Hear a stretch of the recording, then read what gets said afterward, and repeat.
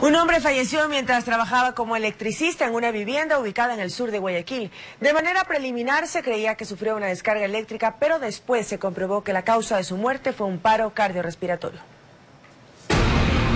Mientras realizaba trabajos como electricista en esta vivienda ubicada en Francisco Segura y Bogotá, Tito Fronda Rosado, de 55 años, de un momento a otro se desplomó y quedó tendido en la losa. Ahora lo he llamado que quería conectar un aire acondicionado para que me haga la instalación. Ha hecho la instalación, hemos estado conversando ahí un minuto antes de que, que se caiga, caiga al suelo. No tiene electricidad las dos puntas del cable donde tenía que conectar y acá no ha habido ninguna electricidad. Incluso los señores médicos, todos los señores que han venido, eh, dicen que, que, no hay signos de electricidad.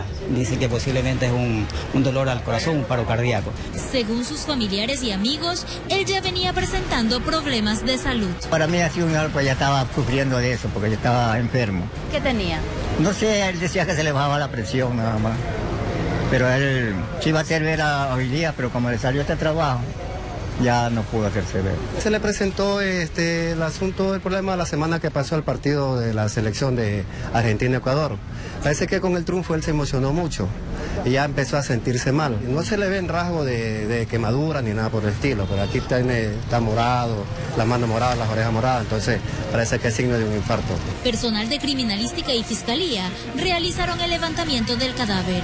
También han venido la, los de la empresa eléctrica eh, por supuesto, el señor no tiene, por lo menos a simple vista, que se vea algo de que haya sufrido alguna descarga eléctrica. Posiblemente podría ser un paro cardíaco, pero en todo caso, en este momento estoy ordenando el levantamiento del cadáver y, por supuesto, la autopsia médico-legal que en definitiva determinará las causas del fallecimiento del mencionado ciudadano. El cuerpo del fallecido fue trasladado hasta la morgue de la policía para la autopsia respectiva. Informó Roselena Vasconés.